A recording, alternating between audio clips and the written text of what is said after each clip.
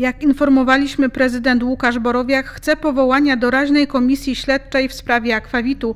Radni mieliby wzywać i przesłuchiwać świadków w sprawie prywatyzacji i okoliczności zamknięcia pływalni w styczniu tego roku. Przedstawiciele wszystkich klubów byli zaskoczeni tym pomysłem. W magazynie samorządowym mówili, że dowiedzieli się o nim z mediów.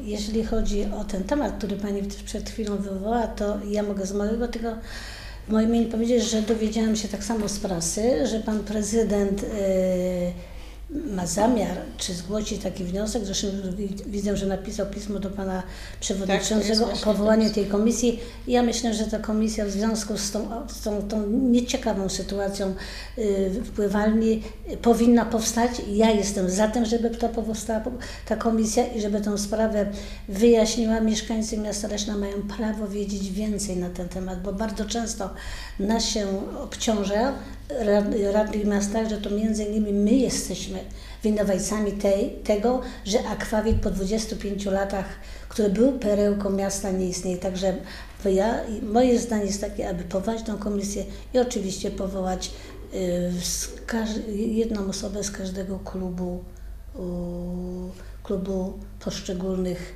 y, klubów w Radzie Miasta. Panie prezydencie?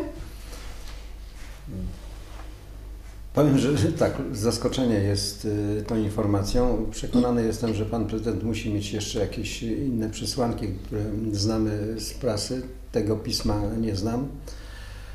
Wydaje się, jak są takie kontrowersyjne tematy, jak lotnisko, czy szpital, czy inne, to najpierw powinniśmy w gronie prezydent, przewodniczący, szefowie komisji gdzieś ustalić pewne fakty, potem ewentualnie w jakim idziemy kierunku i, yy, i, i wyjść z tym yy, publicznie. Ufam, że jeżeli komisja zostanie powołana, to, to będzie zmierzała do tego, co mówiła przedmówczyni, żeby wyjaśnić opinii publicznej miasta, bo część rzeczywiście tej opinii uważa, że mm, czegoś tutaj samorząd zaniedbał.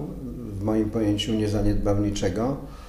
Y, Ba dał szansę dwadzieścia kilka lat temu, że y, Akwawit y, wtedy przedsiębiorstwo państwowe wybudowało wyjątkowy obiekt, który był, był takim wizerunkiem miasta, ale i również tej części Wielkopolski, więc zobaczymy, jakie będą argumenty. Być może, że pan prezydent zechce się przed sesją spotkać z szefami klubów i, i, i wyjaśnić te intencje tak do końca.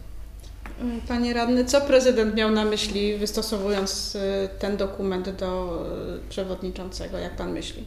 E, To znaczy nie wiem, znaczy zgadzam się, że prawdopodobnie pan prezydent ma jeszcze jakieś inne informacje, które ewentualnie powinien przekazać, ponieważ no, z punktu takiego formalnego, komisję doraźną oczywiście Rada Miejska powołać może.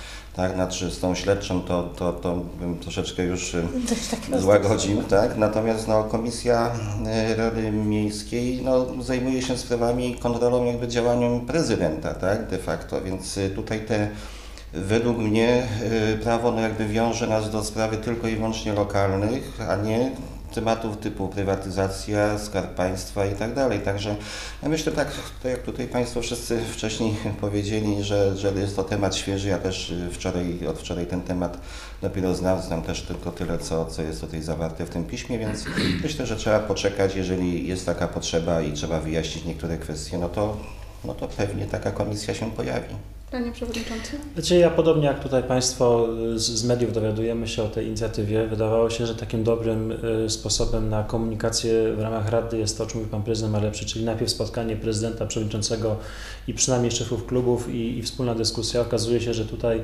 jesteśmy zaskakiwani tego typu propozycjami. E, Pewnie są dwie możliwości, bo można o temacie rozmawiać, a można go rozwiązać. Ja mam wrażenie, że to zmierza, czy ta propozycja zmierza do tego, aby o temacie roz, rozmawiać. E, Taki znany samorządowiec, ceniony od wielu lat, kiedyś powiedział mi, że trzeba znać swoje miejsce w szeregu i trzeba znać swoje kompetencje, więc e, dokładnie to, o czym mówi Pan Radny Skrzypczak. Oczywiście jako Komisja Rady możemy, znaczy jako Rada możemy powoływać komisję w każdym temacie, tylko pytanie po co i dlaczego, tak? E, Przecież taka komisja nie będzie miała absolutnie żadnych kompetencji władczych do tego, żeby, nie wiem, wzywać właściciela prywatnej spółki do składania jakichkolwiek wyjaśnień, więc, więc moje pierwsze pytanie na pewno, nie wiem czy to jutro trafi na posiedzenie Rady, merytorycznie będzie takie, jakie są intencje rzeczywiste i autentyczne powoływania takiej komisji. Ja celowo użyłam y, słowa y, komisja śledcza, dlatego że tutaj jest y, napisane w, w tym piśmie, że komisja, jak się wydaje, komisja, która zgodnie z przepisami prawa ma prawo przesłuchiwać świadków i korzystać z pomocy ekspertów. Więc stąd moje, mój przymiotnik śledcza użyte, użyte, aczkolwiek tutaj jest doraźna tak, w tym, w tym dokumencie. Do tego, co Pani w tej chwili zacytowała, myślę, że to Pan Prezydent nie miał na myśli Komisji Śledczej. Ja tylko się powołam na moją komisję rewizyjną. Jeżeli my kontrolujemy daną jednostkę i mamy pewne wątpliwości, bo przecież nie jesteśmy alfą i omegą i na wszystkim się znamy, to my jako komisja rewizyjna możemy poprosić eksperta, który nam pewien fragment naszej kontroli by sprawdził. I myślę, że tutaj pan prezydent ma na myśli to, że to, co nie będą mogli radni, będą mogli powołać. Tylko pani, pani ale trzeba, radna ale użyła, trzeba, użyła trzeba, słowa mhm, ale... y, poprosić, tak? Natomiast tutaj mówimy o przesłuchaniach świadków i, i powiem, że robi się dosyć groźnie. Ja chciałbym powiedzieć przede wszystkim, że y, bardzo dobrze, że pani radna zwróciła uwagę na komisję rewizyjną, bo to jest jedyna komisja, o której stanowi y, ustawa o samorządzie gminnym, która ma ściśle określone y, zadania kontrolne i która może kontrolować tylko i wyłącznie jednostki podległe jednostce samorządu terytorialnego, więc nawet ta komisja nie ma prawa kontrolować prywatnych spółek.